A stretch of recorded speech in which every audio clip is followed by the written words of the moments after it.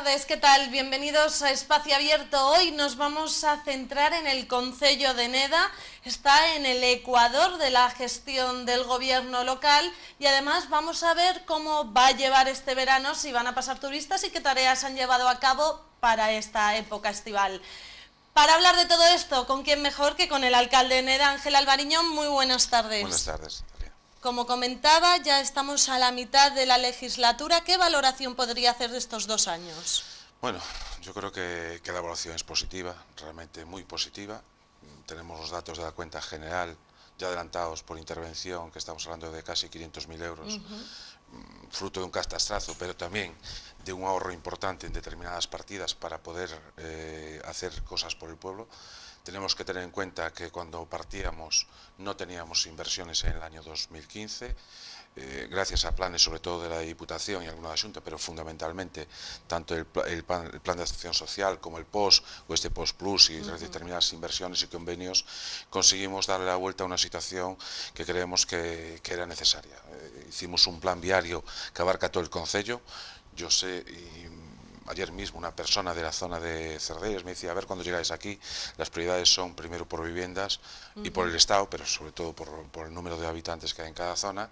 pero vamos a ir a todo el Concello. Tenemos que poner en marcha la, escuela infantil, algo que ya está anunciado para el 1 de, septiembre, con inauguración el próximo mes del consejero del señor Rey Varela pero intentando en todo momento que eh, se asuma por parte del consorcio, como todos los ayuntamientos de Galicia, o la inmensa mayoría de todos que tengamos los mismos derechos. Eh, en las cuentas estamos bien, en inversiones estamos eh, pendientes de que se apruebe, de una vez por todas el Post Plus, que bueno, ya está en exposición pública,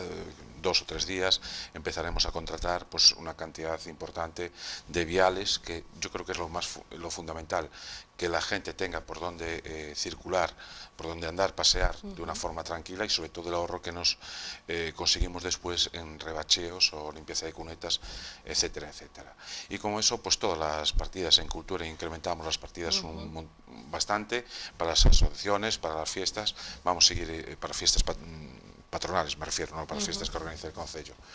Y así vamos a, continuar y espero que,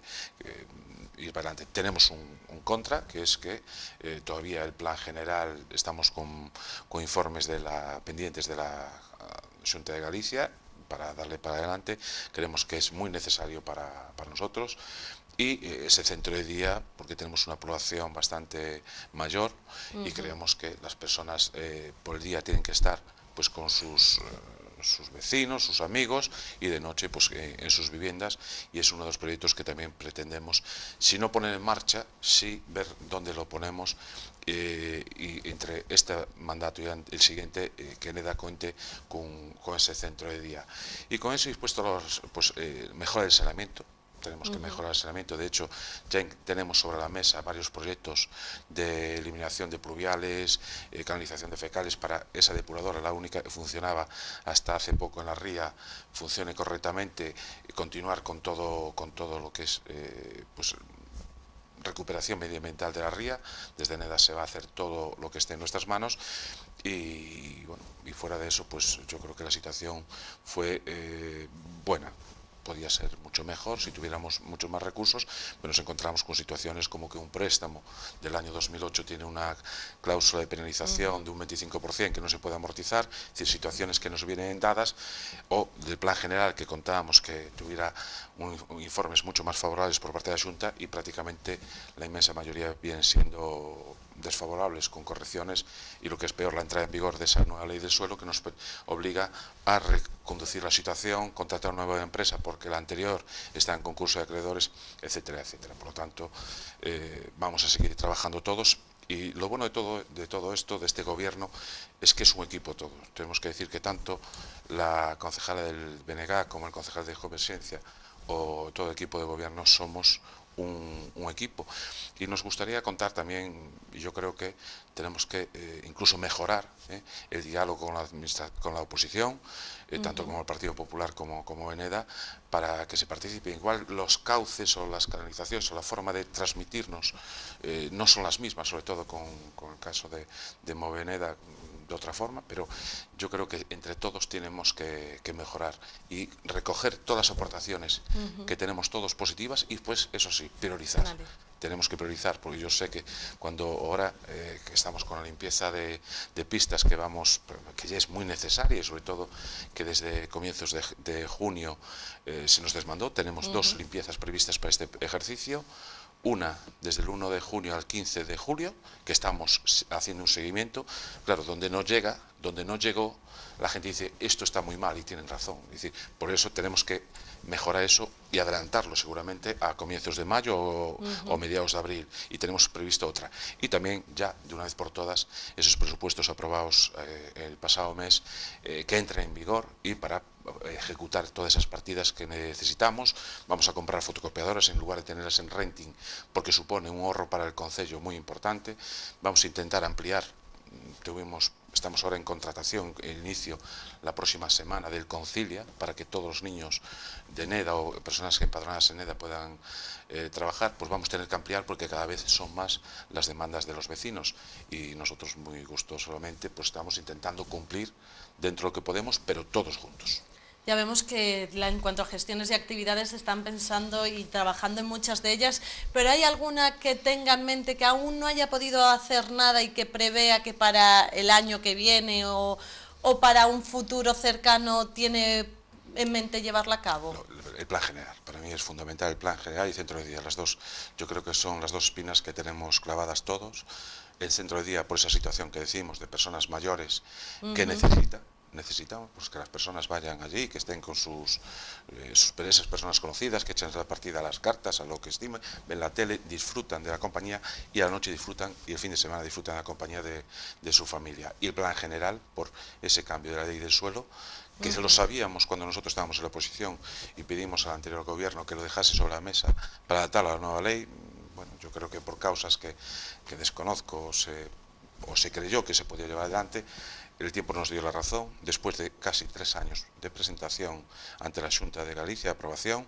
pues seguimos con 10 o 11 informes pendientes de recibir y los otros desfavorables. Eso es lo que tenemos que sacar, porque la gente nos demanda, quiere hacer, y a veces no damos explicado. El otro día venía una vecina y me decía, ¿y por qué? Aquí hay una casa y aquí no y aquí hay otra, y yo en el medio no puedo hacer una casa, y tiene toda la razón del mundo, por lo tanto tenemos que darle una solución a eso. ¿Cuál era la, circunstancia? Que aquí en Galicia, hasta el año 2002, con 2.000 metros cuadrados, una persona podía hacer una vivienda prácticamente en todo el territorio. A partir de 1 de enero de 2003 eh, eso se, anuló, pero no mm, hubo las herramientas necesarias para desarrollar los planes en todo Galicia y por lo tanto sí que necesitamos desarrollarlos en NEDA sobre todo y con garantías jurídicas, no muchas veces lo que nos viene a veces, bueno pues vamos, la Junta va a elaborar los planes, no, pero después hay que tener garantías jurídicas porque, después, exactamente, Del centro de día de que me hablabas, la idea es llevarlo a cabo, no se sabe si en esta legislatura, si en la siguiente, pero ve la posibilidad, va a haber un centro de día. Sí, va a haber un centro de día, estemos nosotros, venga otra corporación, todos los, eh, los grupos políticos de NEDA apostamos por ese centro de día, por lo tanto, nosotros vamos, tenemos que, somos los que estamos ahora, tenemos que poner las bases, ya tenemos una idea, nosotros nuestra idea de la escuela infantil era al lado del centro cívico, en EDA, que tiene un estacionamiento bueno, no hay muchos coches, bueno, se llevó por otro lado, vamos a dejarlo, eso ya quedó, hay que ponerle en marcha y que se pase al consorcio, pero nosotros creemos que ahora ya que tenemos ese, esa escuela unitaria vieja, lo primero que vamos a hacer es derribarla, mirar si ese sitio podemos eh, hacer el centro, que yo creo que sí, o buscar la forma de ampliarlo, porque estaríamos en el casco eh, urbano de Neda con ese centro, con las eh, herramientas que, se necesiten, pero yo creo que sí. Y además, sobre todo porque conseguimos muchos ahorros para poder hacer estas cosas. Por otro lado, el Consejo de Neda llevaba un plan ambicioso de mejoras de pavimentación y de mejoras viarias. ¿Cómo se encuentra este plan? Pues bien, es decir, va va avanzando, hay situaciones eh, con el Post Plus, este que va a salir, este ya está para, para contratar, el próximo mes se va a empezar el proceso de concentración, de, de, contratación, pues vamos a aglomerar bastantes kilómetros eh, a lo largo de este, de este año. Ya está en, en proceso de, de, contratación también el convenio que tenemos con la Diputación para cuatro kilómetros y medio en la, en la parroquia de Anca, desde la Cheda a la Chisqueira, Los Cobos y, al principio de, de, la parroquia, con eh, desvíos a, la zona de Lobeira y de Fraguela, prácticamente cuatro kilómetros y medio que van a quedar bastante bien, pues calculamos que un par de meses, dos, tres meses, está para, ya eh, para ejecutar eh, las tres calles que nos faltaba en EDA, que podemos ejecutar ya con, con, el remanente del POS del año 2016, la calle Piñeiros, La Gareta y la siguiente, que estaba en una situación lamentable, y pues eh, estamos haciendo proyectos de esas zonas que nos falta, nos falta terminar lo que es la zona de Coveluda como proyecto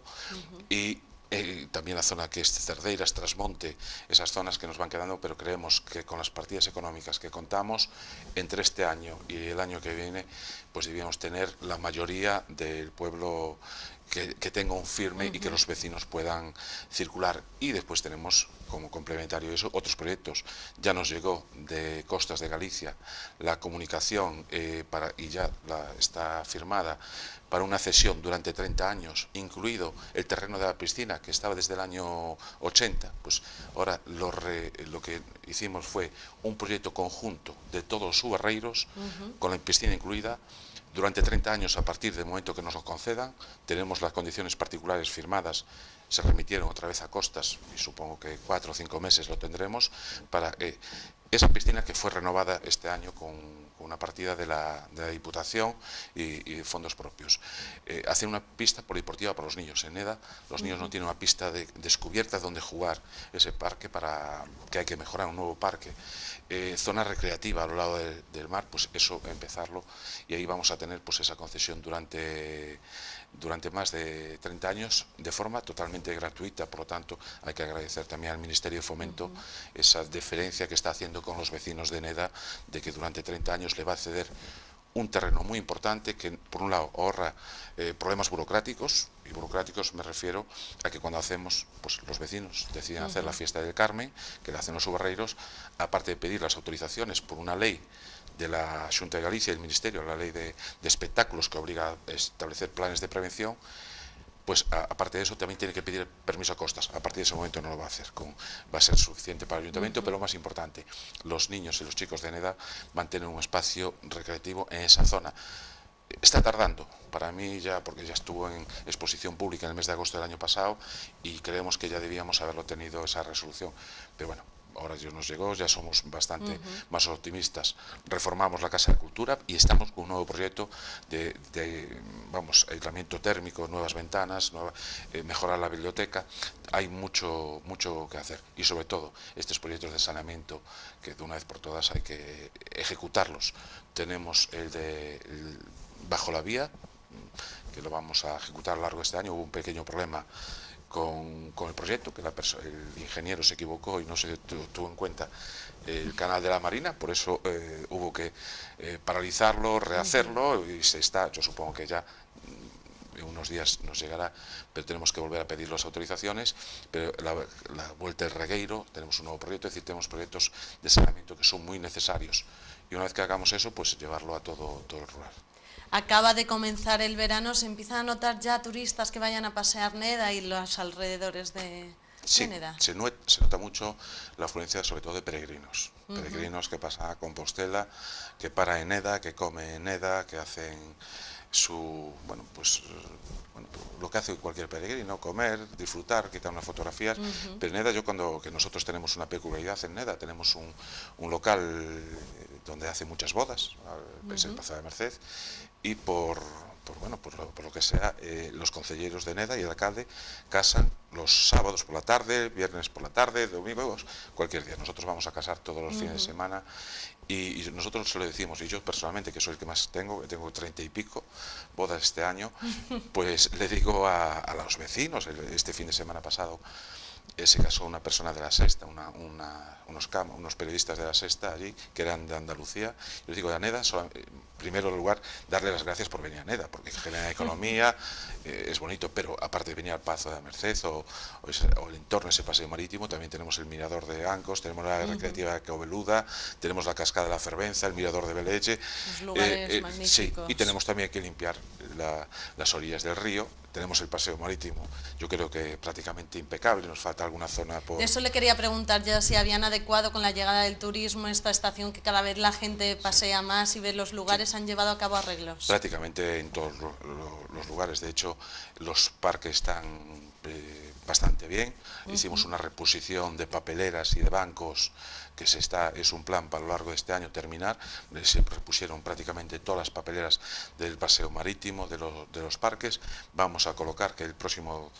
día 3 empieza en EDA 11 albañiles con los fondos este del plan de empleo de la Diputación, pues vamos a poner eh, otras 70 papeleras que tenemos ya compradas en el, en el vamos en la nave del Puntal, esa nave que, eh, que nos cedieron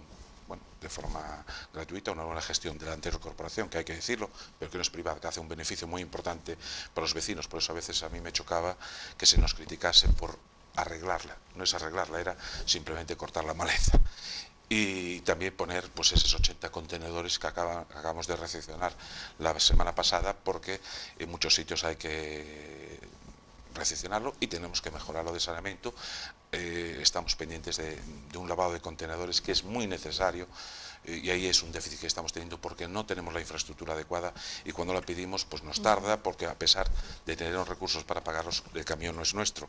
Como estamos en un proceso de fuera de contrato pero que eh, está haciendo un servicio muy importante la empresa de, NEDA y hay un estudio por parte de la mancomunidad de poder mancomunar todo el servicio de recogida, pues estamos en ese compás de, espera que nos, nos, hace, nos da este pero ¿eh? que yo tengo que pedir disculpas por ese tema, pero bueno, que estamos intentando mejorar. Lo que sí pedimos es que cuando un contenedor esté roto, cuando cualquier tema se nos avise porque tenemos los recursos y sobre todo el material y la reposición porque está en la nave y en la nave no hacen nada. Por otro lado, la Consellería de Medio Rural convoca para este viernes una comisión de seguimiento de la plaga de la cauza guatemalteca, tema que llevamos ya meses hablando de este tema. ¿Qué resultados se han obtenido en NEDA? ¿Qué se sabe? ¿Qué están haciendo? ¿Qué se está haciendo? Datos oficiales no tenemos ninguno. Tenemos eh, extraoficialmente, hace dos semanas, una empresa, la empresa de SEAGA, que es la que está haciendo recogida, pues nos dijo que iba a hacer una recogida entre ayer y hoy. Nosotros vamos, ya dijimos que que nos parecía que las circunstancias no eran adecuadas. Es decir, a la gente se le dijo, se publicó un real decreto por parte del Ministerio, diciendo que las patatas iban a arrancar con control, bajo control técnico, no se hizo, se les dio varias veces, varios días, no se les comunicó a casa que era normal, porque cualquier persona que hizo un apunte o que, eh, que registró una solicitud de comunicación de que iba a plantar o que tenía intención de plantar, tiene el teléfono, por lo tanto es llamar a esa persona, saber si plantó o no plantó y asunto solucionado. Era, es decir, yo creo que aquí hay un cúmulo de, de, despropósitos, yo creo que hay una gestión que no es la correcta. Lo que sí sabemos es que ese decreto está ahí, que dice que durante dos años no se puede plantar patata y sorprendentemente, claro, como decía alguna persona, dice, oye, estas patatas tan buenas que tengo que arrancar, es que me da eh, pena y después compro unas de algún centro comercial que vienen de Egipto, de no sé, y no sabe a nada cuando yo tengo unas patatas buenas. Yo creo que lo normal en este caso es que esas patatas que no están contaminadas, la gente las comiera. Las consuma. Y lo otro retirarlo. Sabemos que tenemos que cumplir ese tema, pero también sabemos extraoficialmente, por lo que salen los medios de comunicación, no porque no se, no se nos comunicase a nosotros, porque no, no hay comunicación prácticamente Podemos decir falta de un poco de descontrol o desinformación en cuanto a este tema. Total, total. Yo lo lamento. Si había con anterior jefe provincial, la nueva responsable o los nuevos responsables, yo supongo que estarán tomando las medidas. Yo no estoy dudando para nada que nos estén tomando medidas. Seguramente los positivos, al no haber planta en el terreno, pues claro que baja. Dice, decía la consejería, un 90% hace dos meses. Bueno, eso es normal, pero eso no es para echar las... Eh, vamos, las campanas al vuelo, porque tenemos que tener en cuenta que la gente está haciendo un sacrificio muy importante, sobre todo porque muchas personas la plantación de patatas histórica en Galicia era algo, un complemento de renta muy importante, que ahora tienen que ir al mercado y donde el mercado no le garantiza porque lo estamos viendo. Y a mí me pasó la semana pasada, yo compré una bolsa de patatas para Santiago y cuando me voy a comprarlas pues sabían a dulce, los miro de Egipto, claro, no sabía a nada. Y a ver si encuentro una señora por allí o alguien que, me, que me venda patatas de, de allí, estamos hablando de Santiago, pero aquí nos pasa lo mismo, por lo tanto eh, hay que mejorar, yo creo que hay que mejorar. Nosotros, eh, la FEGAN, en esa reunión que son los representantes de los concellos, nos pidieron pues, informe o eh, sugerencias, les manifestamos nuestras, nuestras quejas, porque creo que no se está haciendo correctamente, que habría, que habría muchas formas de hacerlo de otra, de otra forma, pero bueno, ahora es lo que hay y como administraciones vamos a colaborar pero espero que, si no es para el año, el siguiente año, que todos los vecinos de Neda y de la comarca puedan plantar patatas. Hace unos días leíamos en la prensa que volvía a ver, tenían problemas en cuanto a la telefonía fija en Narón, problema que ya hacía unos meses atrás pasó en Neda. ¿Se solventó todo el problema? ¿Habéis tenido de nuevo algún problema? sí, en Neda nosotros no detectamos más problemas. De, de hecho, el momento que nosotros detectamos el problema, porque yo residiendo en Neda, en el centro donde está el problema, con una línea 39 no tuve el problema ni tuve, tuve internet. Es decir, eso sería un determinado tipo de líneas, es un problema importante y nos pusimos en contacto, independiente de las reclamaciones que hizo, hiciera cada vecino, con, la compañía. Amablemente, la responsable gallega, con, con el, con el ingeniero de telecomunicaciones que tienen ellos, se acercó al concello, nos, bueno, primero pidió disculpas, nosotros dijimos que las disculpas hay que pedirse a los vecinos, no a nosotros, y nos explicaron de qué era, que era una situación de unos cables humedecidos que tuvieron que cambiar, efectivamente, de hecho estuvieron reponiendo, pedimos compensaciones como independiente de las que pida cada persona que tiene derecho y, a mí me parece además eh, justo, pero que, eh, que, se le compensa a todo el mundo. Y nos comunicaron y nos presentaron ya un plan de, eh, para más de 1.300 casas de fibra óptica. De hecho, no sé si era para callar a la gente, andaban por allí dos responsables de Telefónica para saber por dónde donde lo ponían. Esperemos que eso no, ocurra. Lo que sí también tenemos en EDES en determinadas zonas, a pesar de que tenemos un remisor de televisión en eh, zona de Marrachón para la zona rural, sobre todo porque eh, ese monte hace de, barrera de la señal para la zona de Vironell, Rochal, parte de, la, de Gandarela, pues ahí sí que tenemos un problema. Estamos en contacto con, la empresa de telecomunicaciones. Retegal se había comprometido a asumir eh, esos pequeños remisores pues hace tres o cuatro años, todavía no lo, no lo hizo y nosotros nos pusimos en contacto con una empresa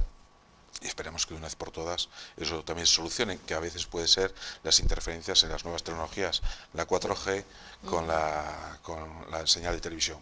Esperemos que se solucione y lo de Telefónica también lamentarlo la situación, porque yo lo decía, si el problema no es que una persona no tenga teléfono, que es grave, el persona, sobre todo personas, yo pensaba en mi madre, que no tuvo el problema, pero sí como situaciones de esas que tienen lo de teleasistencia, que eso no funcione y que podría ocasionar un problema muy grave. Por lo tanto, las compañías eh, telefónicas, las eléctricas, tienen que dar el servicio correctamente y cuando hay errores corregirlos. Ahí pidieron disculpas, salieron a la prensa,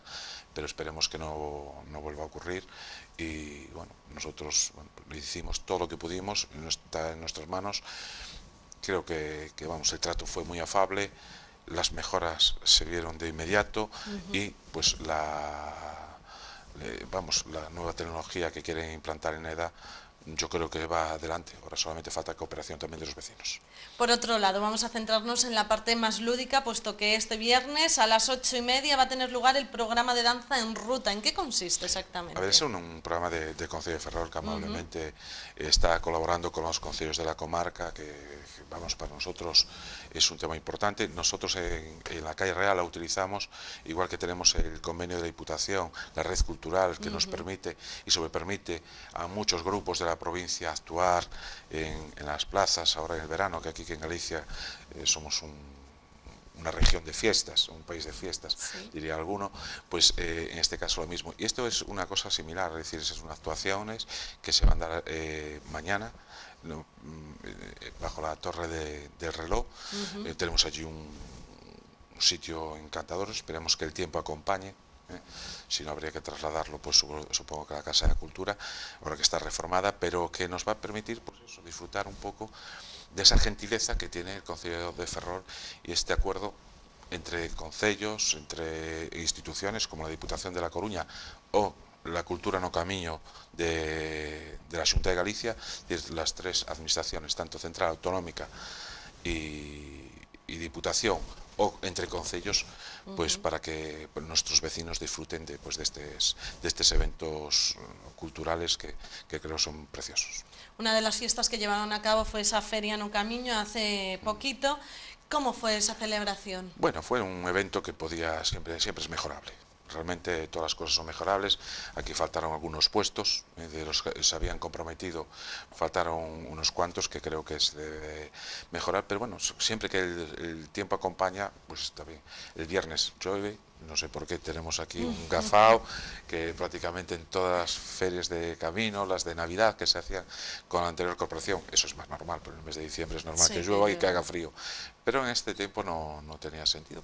Bueno, puede coincidirnos. Hoy es San Pedro y, tenemos eh, chubascos, por lo tanto, mm, vamos a, intentar mejorarlo. Mm, siempre todas estas cosas eh, son buenas, sobre todo, como decía algún,